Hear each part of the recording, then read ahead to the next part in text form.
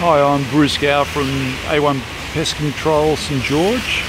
Uh, we're in the middle of uh, the Princes Highway right at the moment at Rockdale. As you can see by the, uh, the sign in the corner, the seven ways leads up to Bexley and Hurstville.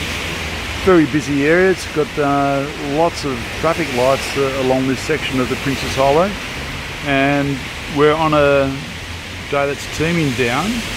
Um, which it's in the middle of summer, which means that after the rain, when all this dries up, we're going to have plenty of cockroaches, ants, and spiders because that's their uh, perfect environment. So if you need someone in the, the Rockdale area, please give me a call.